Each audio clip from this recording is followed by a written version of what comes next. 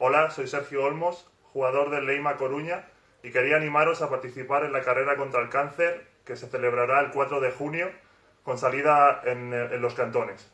El plazo de inscripción es hasta el 30 de, mayo, así que tenéis poco tiempo para, para, apuntaros si todavía no lo habéis hecho.